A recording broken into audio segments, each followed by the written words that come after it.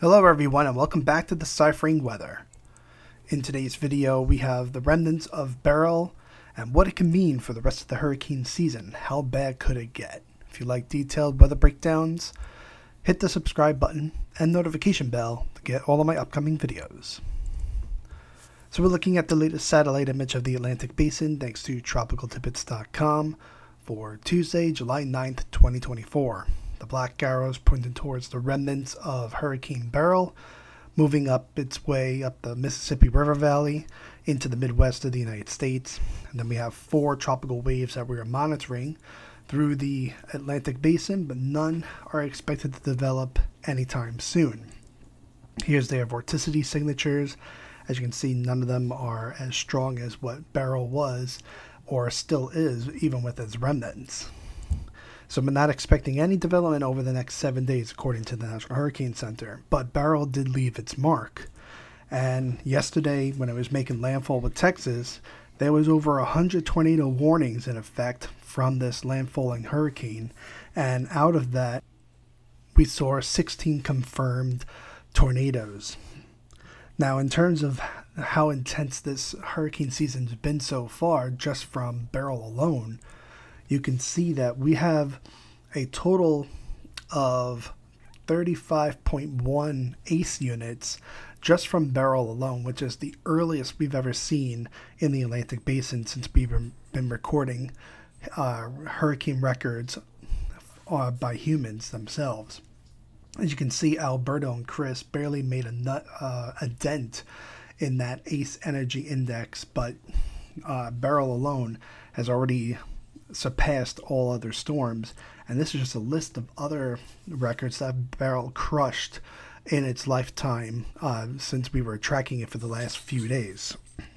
Now, as, in terms of how bad Beryl has been and the records it's broken, could have been a lot worse. As you can see here, Yes, we've had three named storms so far in the 2024 hurricane season, but we could have had a lot more uh, if the conditions were much more favorable. We had Invest 90, 91, 92, 93, 95, 94, and then 96, with only, a, and then out of those, the rest of them, only three became named storms Alberto, Beryl, and Chris.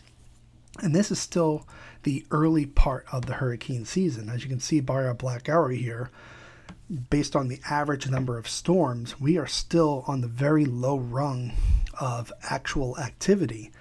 If this was the beginning of or middle of August, that'd be one thing, but we are only at this the very beginning of the season and we still have the peak of hurricane season to go the middle of October, September, and October.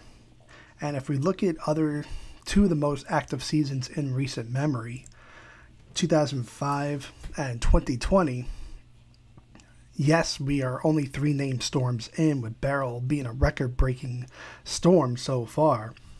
Uh, but you can see how in 2020, at this same time, we had five named storms all the way up to Edouard. And in 2005, uh, at the same time, we had up to Cindy with the beginnings of Dennis in a, forming in a few days uh, time uh, relative to where we are today. But you can see that we're pretty much where these two seasons were in terms of name storms and intensity that we're talking about. Beryl broke both those records. It was the earliest Category 4 hurricane and Category 5 hurricane on record in the Atlantic Basin, which was broken by in 2005 from Dennis and Emily, as you can see on the top left of your screen. So, in terms of where this could go, if we look at the tracks from 2005 and 2020, where we had record number of storms those years, we are pretty much we could potentially see a repeat of those two seasons. And why so?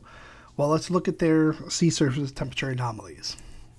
As you can see, the Atlantic in 2005, this time uh, at, on the same date, we had a neutral Enso coming out of an El Nino event in 2005 where our black box is, but the Atlantic was relatively warm. 2020, we had a m- more robust neutral ENSO heading towards La Nina. and the Atlantic again was above normal. So where we see it today, we're in a, a neutral ENSO heading towards a La Nina potentially, and the Atlantic it's even warmer than it was back in those two years. So potentially we have more fuel on the fire. It's just a matter of the atmosphere linking with the sea surface temperatures to make it erupt into a potential catastrophic season. In terms of the La Nina, you can see we are in that neutral Enso territory. We're at negative, uh, 0.08 degrees Celsius right now and that's only going to continue to go down as we're going to have some strong trade winds to continue the upwelling in the Eastern Pacific Basin based on the European model over the next month or so. And that's showing in the forecast where we're going to have either neutral Enso conditions or La Nina conditions by the time we get to the peak of hurricane season, as you can see with that black arrow. So, because of all these things that I just showed you, it's not just me looking at it, it's also Colorado State University, and they've already increased their forecast for the number of storms that are be forecasted for the 2024 hurricane season, and they're basing it off these analog years 1888, 1926, 1933, the biggest ACE producing season ever, 1995. 2005, a record year, 2010, and then 2020, the most number of named storms on record as well. So they've increased their forecast now to 25 named storms, 12 hurricanes, and 6 major hurricanes. As you can see on the right, how that compares to the average. And this forecast includes Alberto, Beryl, and Chris already.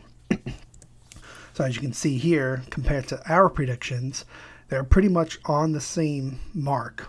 Uh, we were predicting back at the end of May 25 named storms, 11 hurricanes, and, and five major hurricanes. So, and we've had three named storms so far. We had one hurricane and one major hurricane in the form of Beryl. So, this is pretty much where we're going to be potentially at by the end of this season. Will this need to be increased? We'll see as we go through the remainder of the season uh, if this needs to be adjusted once more. So we've already seen Alberto, Beryl, and Chris. Next name on the list would be Debby. And if we were to exhaust this list based on our forecast, we would go into the auxiliary list, which has Adria, Braylen, Caridad, and Deshawn as well being used potentially. Now, over the next seven days, as you saw with the National Hurricane Center forecast, we're not expecting much development. You can see that on the models and the on the ensemble here. It looks pretty quiet. And if we look for the rest of the month of July, right now we're expected to be quiet as well. And we'll go into more detail about that tomorrow in a video. As a reminder, we have super thanks available on Deciphering Weather. So if you like what we're doing here, please go down to the heart button where it says thanks. Thank you for watching this video. If you liked it, please hit the like button and leave a comment. Please share this video with your family and friends on social media. And if you do would like detailed weather breakdowns, hit the subscribe button and notification bell to get all of my upcoming videos. Thank you and have a great day.